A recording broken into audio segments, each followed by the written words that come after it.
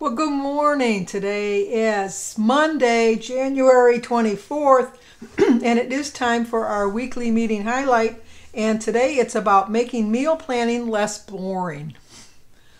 I know sometimes meal planning can be very boring. But anyway, we always start off with how I did, so let's take a look and see how well I did this week.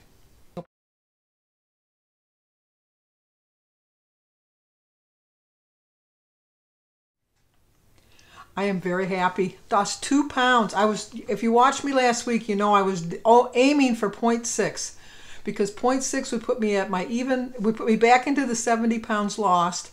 Plus, it would be my first five pound uh, goal because I set little five pound goals this year. Uh, no set time limit on them. Just I got to fix this little piece of hair. I got to get a haircut. Um, uh, no set timelines on how long it's going to take me to reach my five pounds, but uh, I'm going in little five pound increments. So uh, I weighed in this morning at 232.8. That means I lost two pounds, which puts me at 71.4. So my foot is firmly in the 70s door. So uh, I want to stay there and I don't want to go back. Uh, I need to get to my next five pound goal, which is 227.8, which is my next five pounds. I realized I lost a little bit. I only needed to lose 0.6 to get to my first five pound goal. It was just like cherries on uh, cherries on a sundae with my extra little bit of weight. So um, I am shooting for five pounds from where I'm at today. So 232.8 minus five is 227, right? Yep, 227.8. So that's my next five pound goal. I don't know how long it's going to take me to get there, but I'm going to get there.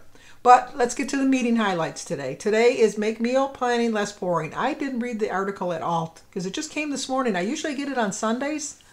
But for some reason, I didn't get it yesterday. I got it this morning. So um, it said, We are all for spontaneity, just not when it comes to meals. research shows that jotting down what you'll eat in advance and what you take track to make that meal can happen. Let me start again. Research shows that jotting down what you'll eat in advance and what it will take to make that meal happen can help you stay on track and lose weight. This past week, I really have been tracking my weight. Uh, in my meals more so than I normally do. I always in the morning kind of wake up and figure out what I want to eat for the day. I have tried doing a weekly menu plan. Um, it it's it's work. It, you know, I'm not going to say it's not. It is a little bit of work. But then some mornings I might wake up and not really want that. And I know I could switch it off and you know, like it's not carved in stone that that's exactly what I have to have. But um, I just kind of wake up that day and kind of figure out what I want. I would love to have a cook and that I would just sit at the meal and just be surprised, like Jim. He never knows what I'm going to cook, but he always likes what I make. So, um, but he just has no worries about that.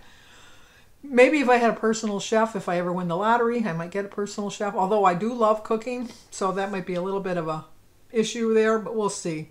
But if you set aside 15 or 20 minutes today to straight to strategize what you're going to eat this week, what you'll need from the grocery store, and when you'll cook or prepare the grub. It's not may not be the sexiest weekend activity, but there are ways to make it a Sunday fun day. I um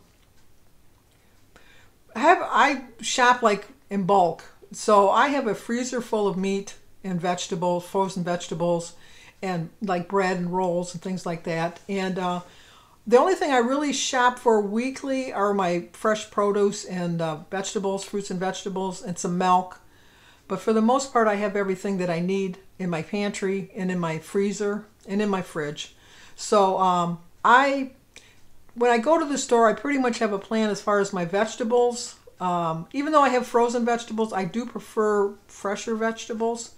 But I like the frozen ones just in a pinch, just in case I run out of a certain one. I did try this past week buying some frozen raspberries. I'll never do that again. They're more so not for eating like a raspberry plain, you know, like I do. I think they're more for like in a smoothie or something like that because uh, I was not impressed at all. So I would rather not have them than have the frozen berries. Unless, like I said, I was going to. I do have some uh, dragon fruit that I sometimes put in my uh, iced tea, but uh, for the most part, I don't usually use frozen foods. Uh, start by prank- cranking a feel good playlist and getting cozy with a cup of coffee, tea, or flavored seltzer. Then poke around in the app to pick out your recipes, grab a pen and paper, and move on from there. I very rarely get my recipes from uh, uh, Weight Watchers. Uh, sometimes, like on the weekly things, they'll show something that I like that I think I'm going to try, and sometimes I have tried them, and sometimes I haven't tried them in the past. I have definitely tried recipes that I've seen on uh, websites, or not websites, on channels. Uh, Point Pointed Plate, uh, Recipes with Roy, uh, Girl on Her Phone. I, have followed a lot of their recipes because um, they just look good. so I have tried it. I do kind of change it up a little bit. Um, Roy had a recipe the other day for a turkey kielbasa with broccoli and asparagus, which looked absolutely delicious. Uh, Jim will not eat greens. He will eat green peppers and celery. That's about it. So I, kind of changed up the stir fry a little bit. I still used the turkey kielbasa and I used uh, all the other ingredients that he said, but instead of the um, the broccoli and the asparagus, we put in canned tomatoes, like diced roasted tomatoes, and um, green and red pepper and mushrooms. So we, we change it up a little bit. You know, you can see so many recipes and just kind of like tweak it to like the way you want to do it. A Hungry Girl has so many great recipes. I have followed a lot of the Hungry Girl recipes too. But um, this is things that you need to do to stay on track. Spend a few minutes answering the questions so you can map out some or all what you want to eat. Which meals do you want to plan? I pretty much always eat the same breakfast. I very rarely eat lunch because I eat so late my breakfast. I don't eat my breakfast till between 1 and 3 and then I eat my dinner between 6 and 7:30. So um, I usually just have the two meals.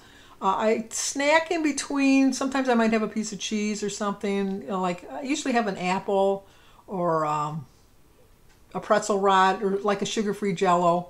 Um, but I I need to plan my dinners a little bit better because um, my dinners tend to be a higher point meal for some reason. I don't know why. It's I don't I, I know it's probably because I don't eat enough during the day. I'd probably be better off eating a small breakfast, a small lunch, and a small dinner um, I just, I'm like the coneheads on Saturday Night Live. I need mass quantities of food, and I'm not ashamed to admit it. But I mean, I can have like, if you've seen any of my vegetable platters, it looks like a vegetable platter that you would serve at a party because I eat a lot of vegetables when I have a platter of vegetables.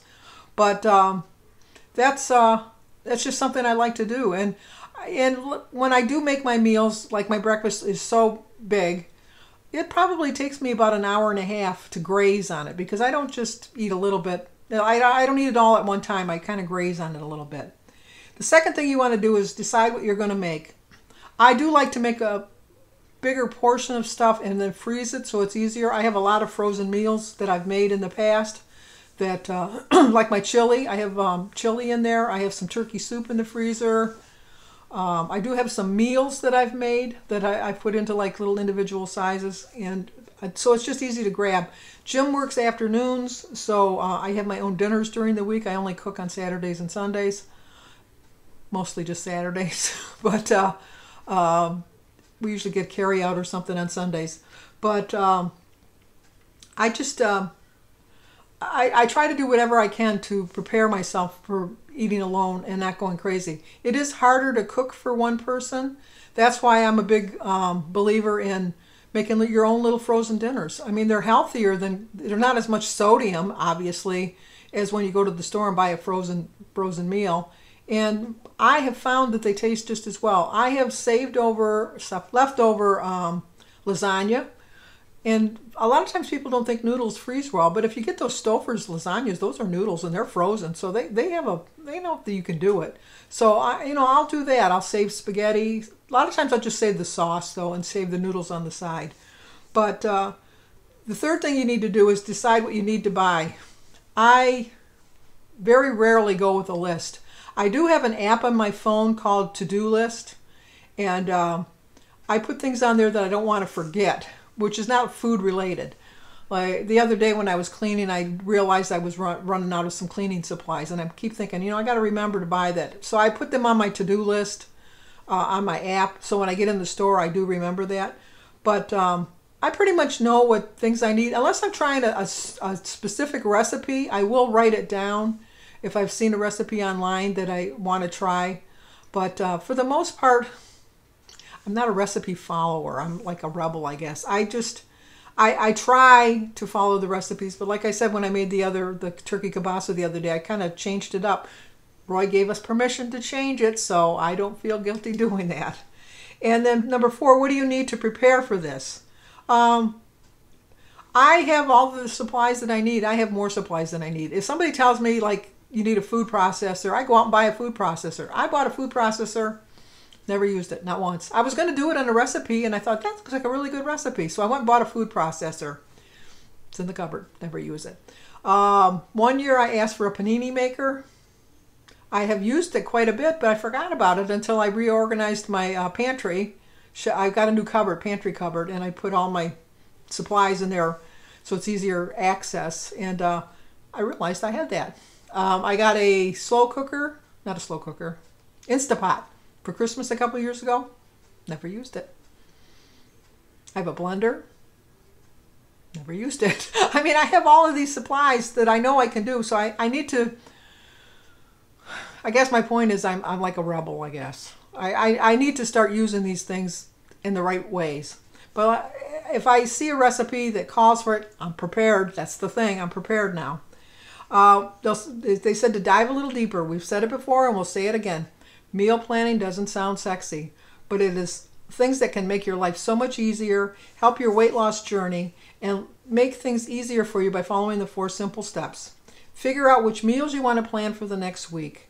Uh, if you're new to meal planning, start with just one meal. You know, maybe don't plan every single meal, but think like the, one day this week, I want to make stuffed cabbage. I found a recipe for stuffed cabbage.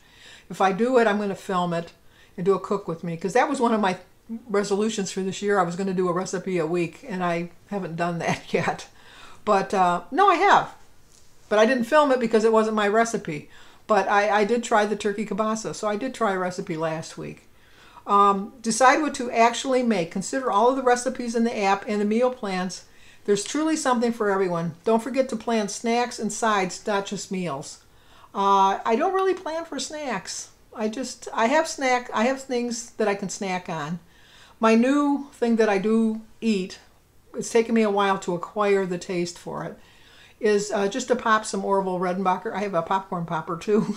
I didn't realize that until I cleaned up my cupboards. But now, um, so I pop popcorn, uh, air pop it, and then um, I don't put any butter on it, which is very hard for me because I used to put like a quarter of a stick of butter on the popcorn because I like a really good buttery popcorn. Uh, I have tried the little uh, flavored shakes, like salt paper, salt shaker things with the flavoring and stuff like that.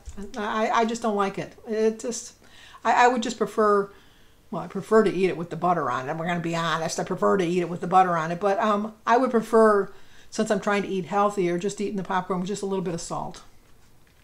Create a grocery list. Check your fridge and pantry to see what you still need and schedule what day and time you'll shop. I like to shop on Wednesdays. Uh, that's the day Kroger puts out their new ad, and so their new prices. I mean, I realize it's for the whole week, but it just seems to work out that I usually go. It's in the middle of the week. I don't like going on the weekends because that's when everybody seems to go, and uh, but I don't bring a list. Like I said, other than that to-do list on my app, I pretty much know what I'm going to buy. And plan for meal planning. Yes, meal planning takes planning. Think about how much time you'll need to decide what you're going to do and start cooking right away. Uh, our recipe for the week is pork chops and cauliflower grits. Okay, I do not like a grit. Uh, sorry, Kim, over at Girl on the Phone. She loves grits. I not a fan of grits, but for some reason it's not loading. The recipe's not loading. I don't know why. My my internet is very slow today. We're having a snowstorm right now, so that's the only thing I can think of. Let me go back out of it and try it again. Well, anyway, it's not showing. Oh, nope, it completely went out of the whole the whole app. Let me see if I can get it again. Um, doo -doo -doo. Gotta go all the way through to the end. Get the recipe for the week. Okay, for some reason it's not loading, but um, oh, here it comes. It took a minute. I told you I, I don't have patience. That's one thing I don't have is patience. Um, this is pork chop and cauliflower grits. On my plan, it's 12 points, which seems high, but it's a whole meal, so I guess that's not too bad. But it's uh, chicken broth, a bay leaf, a garlic, a garlic clove, your center cut pork chop, your a por- purpose all-purpose flour, salt, black pepper, butter, coffee. Ooh, coffee. Okay, you lost me right on the coffee right there. Uh, brown sugar, uncooked cauliflower, and low-fat cream cheese. That's kind of weird that they call it a grit because I thought grits was something else. Maybe not. Um, I'll, I'm going to tell you right now, I'm not going to try it. The pork chop looks good, but uh, we'll see. I'm going to say that probably not. But anyway, um, plan your meals this week. That's what we want to do. I lost two pounds for a total loss of 71.4. On my way to my next five pound goal, which is 227.8. So stick with me for the next, uh, well, however long it takes. I'm hoping less than a month, but we don't know. I'm not setting a goal. We're not setting a set date. But if you're new to my channel, please subscribe. I do a daily vlog. Uh, I do a, once a week. I do a no tag Tuesday with my son Jimmy. On Wednesdays, we do a Ask Us Anything with my son Jimmy. You can ask us any questions that you want, and we'll answer them. Uh, every he's building his own home, so every so many weeks I put up a show you his progress on his house, and um, I do try to do cook with me. So I showed you how to make an omelet the other not show you how to make an omelet, show you how I make an omelet the other day. But uh, it's uh, we have fun on my channel, and hopefully I inspire some people to lose weight because you guys inspire me to stay on track. So if you're new to my channel, please subscribe, leave a comment, hit the like button, share if you think somebody might like to see it. As always, stay safe, and I will talk to you next week. But hopefully, I see you on my daily vlog.